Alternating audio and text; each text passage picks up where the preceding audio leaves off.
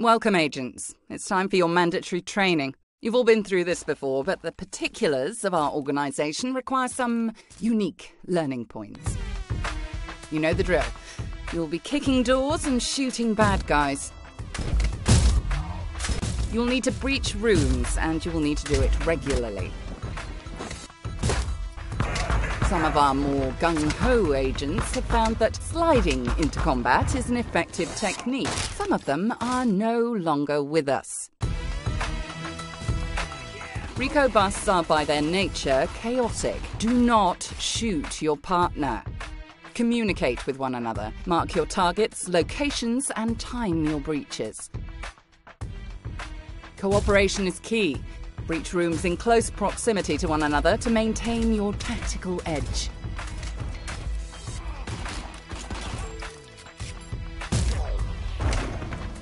For those of you who choose to go alone, let's hope that the heightened adrenaline helps you out. We only have limited intel about your environment, so go with caution. We will be scanning your surroundings and will keep your map up to date with tactical and operational data. We have credible reports that the gangs have access to a large shipment of stolen military grade C4. You're well versed in bomb disposal, or at the very least, you know how to cut a blue wire. You only have limited time, so be methodical and clear all the bombs on one floor before proceeding. Sooner or later, the gangs are going to learn that we are working our way up through their organizations. They will do everything they can to prevent us. Don't be surprised if they put barriers up to our progress. Likewise, they have an almost unlimited number of disposable foot soldiers. Once you start disrupting their activities, expect a robust response. Every operation is different, but your goal is ultimately to collect evidence that will lead us to the next link in the chain. Bag and tag everything you find. Target evidence will be marked on your maps to prevent you from missing anything. Once all the evidence is collected, it's up to you how to proceed. If you have time and it is safe to do so, then continue to clear out any remaining gang members from the AO and return to your entry point before the heavies turn up. We are an experimental division, and as such, results matter. The better your performance in an operation, the more access to weapons and equipment you will be granted. Visit the armory after each mission to see what has become available. And don't be surprised to see additional tasks from the department appear when you start an operation. Apparently, it's all good PR.